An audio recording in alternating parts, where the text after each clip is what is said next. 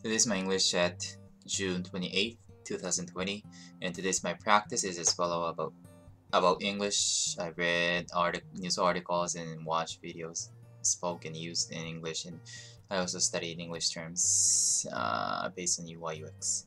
And I what I did for studying abroad is today I considered to uh, today I considered to reserve the uh, airline ticket. I want to talk this later. And about UI UX, I studied design principles, like, yeah. Uh, practicing, uh, a little bit practicing and yeah, user research and so on. And about programming, I studied algorithm. I joined the uh, LeetCode contest and I also studied JavaScript, like React.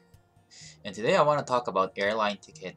Um, I might have spoken this I might spoken this topic before but I want to talk at this again because recently uh, I'm searching uh, went to uh, I'm searching and uh, looking for uh, reserving airline ticket.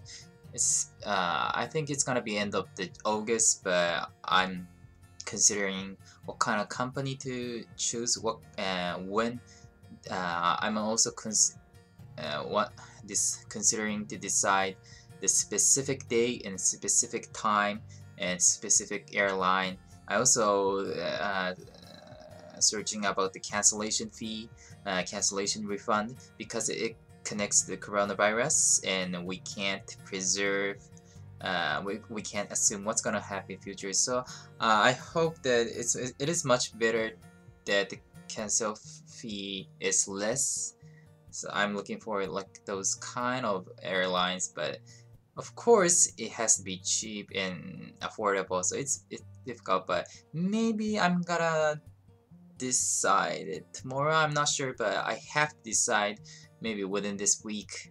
Yeah it's gonna be a little bit uh, expensive recently. Yeah the price is gonna be in, the price is increasing recently so I got to decide and uh, reserve as, as soon as possible that's all. Thank you for watching